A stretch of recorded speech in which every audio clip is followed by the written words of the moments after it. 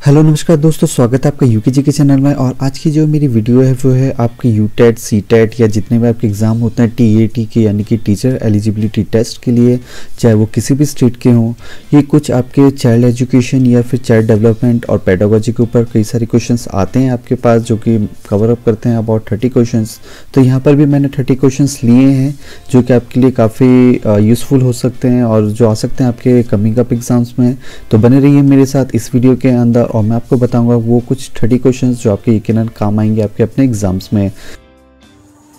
नमस्कार दोस्तों, आज हम फिर से एक बार आपके सामने शिक्षा मनोविज्ञान यानी एजुकेशन साइकोलॉजी और शिक्षण अभिरुचि परीक्षण यानी टीचिंग एबिट्यूड टेस्ट के बारे में कुछ प्रश्न आपके समक्ष रखेंगे, जो विगत एलटी के पेपर में लेक्चरर के पेपर में और यू टेट सी टेट इन पेपरों में आप देख सकते हैं।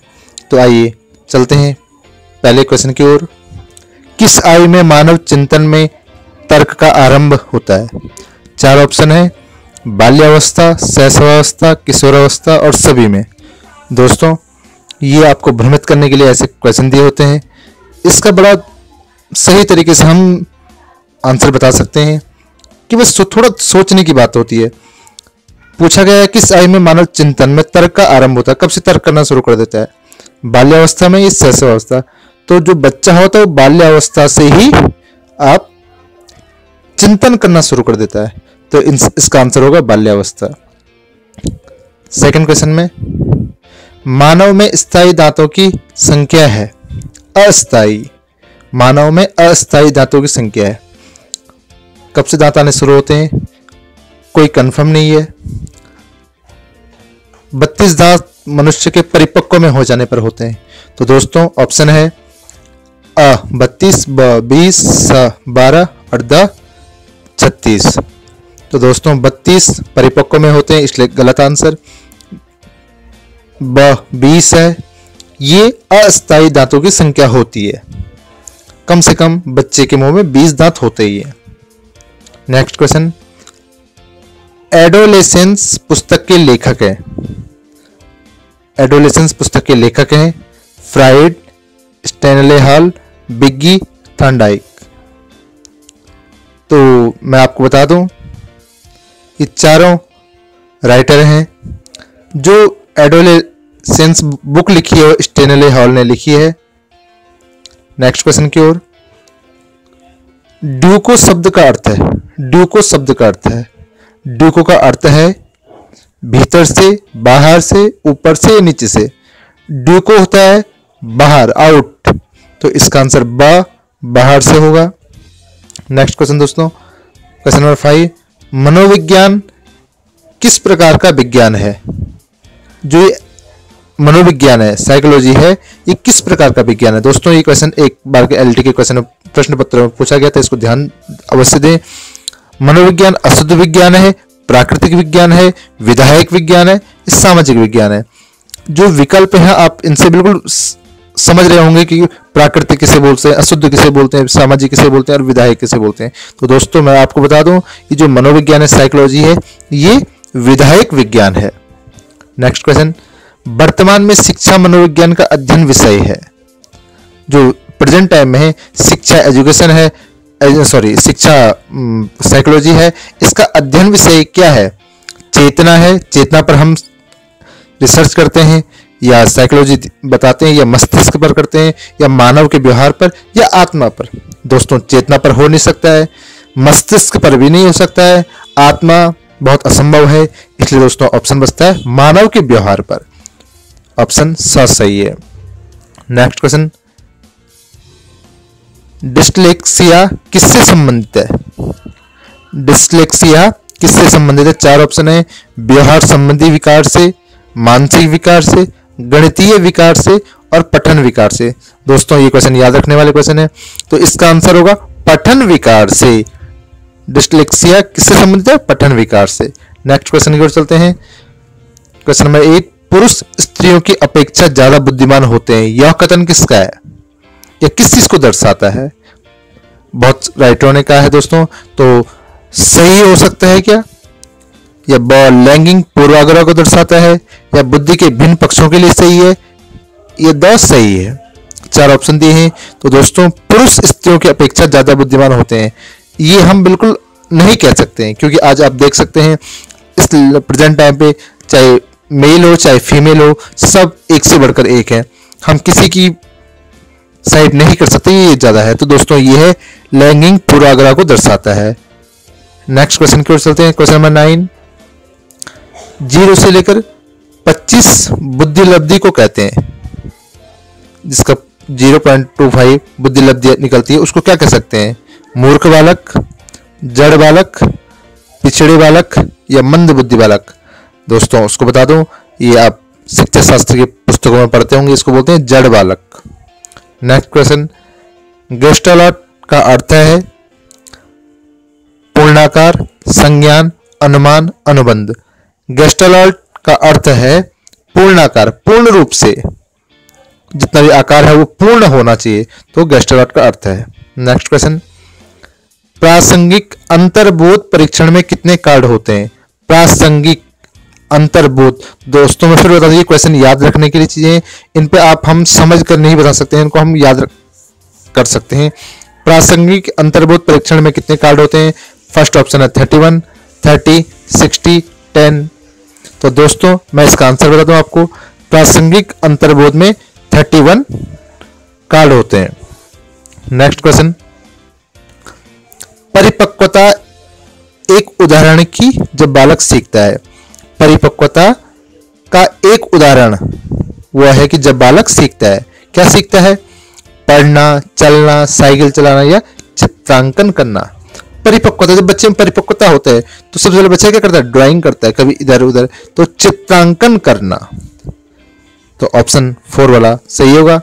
नेक्स्ट क्वेश्चन बुद्धि लब्धि शब्द का, सबसे पहले प्रयोग किया था। किसने किया दोस्तों? ये शिक्षा शास्त्री आपने ये क्वेश्चन भी पहले आ चुके हैं। बुद्धि लब्धि का शब्द का सबसे पहले प्रयोग थॉर्नडाइक ने किया, विलियम स्टर्न ने किया, या अल्फ्रेड विनय ने किया, या टर्मन ने किया। तो दोस्तों, मैं आपको बता दूँ, इसका ऑप्शन फोर वाला टर्मन ने बुद्धि लब्धि सबसे पहले प्रयोग किया था बुद्धि लब्धि का। Next question. काल्सनिक के अनुसार संकल्पना का पुनर्गठन क्या है? काल्सनिक के अनुसार, ये राइटर है, संकल्पना का पुनर्गठन क्या है? तो दोस्तों, चार ऑप्शन है, व्यवहार, चिंतन, शब्द, समस्याएँ। व्यवहार नहीं है दोस्तों, बिल्कुल सेकंड आंसर चिंतन है, यही राइट आंसर है। इसका आंसर होगा चिंतन। नेक्स्ट आंसर क्वेश्चन निम्न में से कौन सा थर्ड निम्न में से कौन सा थर्डाई का गौण नियम है? गौण नियम बोल सकते हैं विविध रूप से। एक मुख्य फोकस दिया गया है, प्रभाव का नियम पर, तत्परता का नियम, सादृश्य अनुक्रिया का नियम या अभ्यास का नियम। तो दोस्तों थर्नडाइक ने सादृश्य अनुक्रिया का नियम दिया है।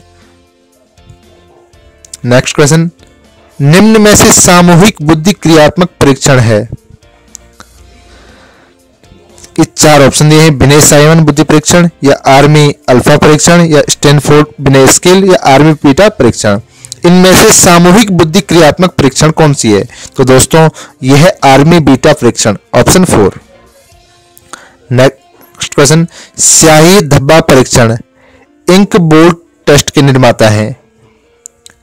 स्याही धब्बा परीक्षण यानी इंक बोर्ड टेस्ट के निर्माता कौन है?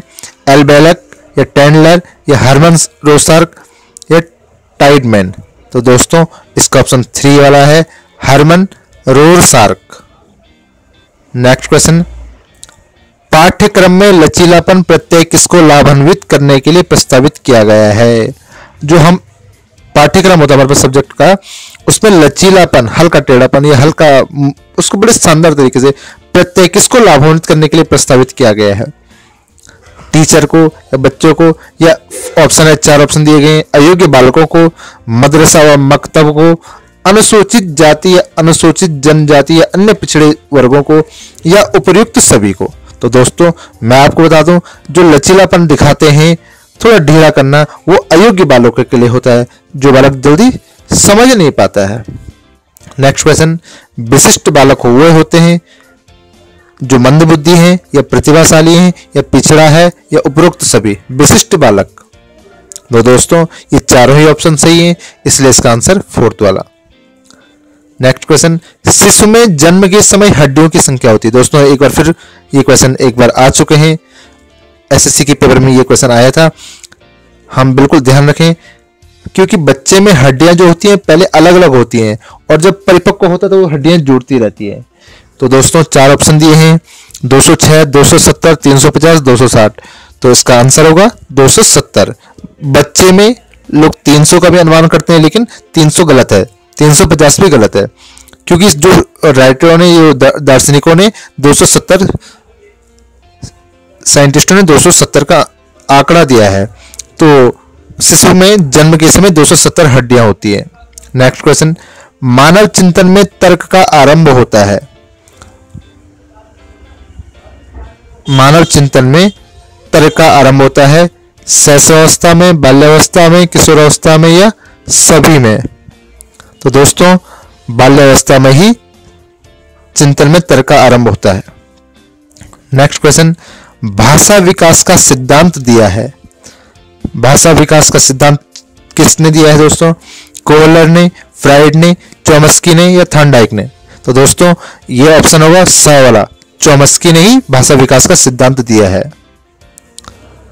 नेक्स्ट क्वेश्चन दोस्तों, विद्यालय का वातावरण निर्भर करता है। जो हमारा स्कूल है, उसका वातावरण किस पर निर्भर करता है? मुखिया पर, शिक्षकों पर, छात्रों पर या सभी पर? तो दोस्तों आप क्वेश्चन देख सकते हैं कितने सुंदर तरीके से पूछा है। हम ऑब्वियसली बच्चों पर ही या स या अ पर टिक मारेंगे, लेकिन दोस्तों ऐसा नहीं है। हम थोड़ा इस क्वेश्चन में जाए अंदर। विद्यालय का वातावरण। तो विद्यालय का वातावरण किस पे बनता है? बच्चों पे तो बनता है, लेकिन कौन बनाता है? निर्भर किस पे करता है? ये टीचर पर करता है। कि टीचर उसको टाइट करता है या ढीला रखता है या बिल्कुल बच्चों को ढीलापन की छोड़ दो, कुछ नहीं, जो हो रहा होने दो। या बच्चों को टाइट करता नहीं, बच्चे पढ़ेंगे, लिखेंगे। तो दोस्तों, इसका आंसर होगा ब, शिक्षकों पर। नेक्स्ट क्वेश्चन अचेतन मन की तुलना की गई है। अचेतन, जो चेतन नहीं है मतलब नहीं, चेतन नहीं है, उसकी तुलना किससे गई? आत्मा से, स्वर्ग से, हिमखंड से, या किसी से भी नहीं?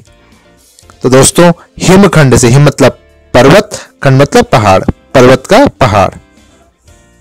बर्फ़ का पहाड़, जो पिघलता भी रहता है। अचेतन मन, कुछ चेतना चेतना नहीं होती है। नेक्स्ट क्वेश्चन सर्वप्रथम बुद्धि का वैज्ञानिक मापन किसने किया? तो दोस्तों, ये क्वेश्चन भी पहले आ चुका है। बिने ने, टर्मन ने, एविन हास ने या वुंट ने? तो दोस्तों, मैं आपको बता दूँ बिने ने ही सर्वप्रथम बुद्धि का वैज्ञानिक माप दिया था। नेक्स्ट क्वेश्चन बुद्धि लब्धि का विचार किसने दिया? सबसे पहले बुद्धि लब्धि का विचार किसने दिया बिने ने टर्मन ने एविन हास ने बुंट ने तो दोस्तों, इसका ऑप्शन होगा टर्मन ने ब वाला सही होगा। टर्मन ने ही बुद्धि लब्धि का विचार दिया था। नेक्स्ट क्वेश्चन मोटिवेशन शब्द की उत्पत्ति किस लैटिन शब्द से हुई है? मोटिवेशन मूव से, मोटम से, मोट से या मूवी से? तो दोस्तों, इसका आंसर ब होगा। मोटिवेशन जो शब्द की उत्पत्ति हुई है, वो मॉडर्न मोटम लैटिन शब्द से हुई है। नेक्स्ट क्वेश्चन अभिप्रेरणा के संदर्भ में भोजन है। अभिप्रेरणा के संदर्भ में भोजन है।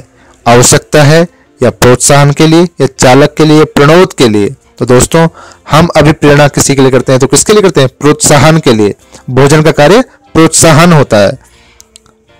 तभी बच्चा आगे बढ़ता है अभिप्रेरित होता है। नेक्स्ट क्वेश्चन कक्षा से पलायन करने वाले छात्रों के प्रति आपका व्यवहार होगा। आप दमनात्मक व्यवहार करोगे, या प्रशंसात्मक व्यवहार करोगे, या सहानुभूति पूर्ण रखोगे, या निदानात्मक करोगे उसको, उसका निदान करोगे। तो दोस्तों, इसका आंसर द वाला होगा, हम उसका निदान करेंगे। नेक्स्ट क्वेश्चन और लास्ट क्वेश्चन रचनात्मक आकलन के लिए उचित उपकरण नहीं है।